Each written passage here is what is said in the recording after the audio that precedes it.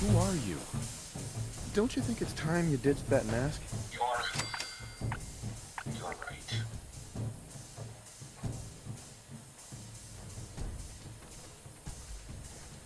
I'm... Isabel. Cruz. The Mechanist was just an easy way for me to help the Commonwealth.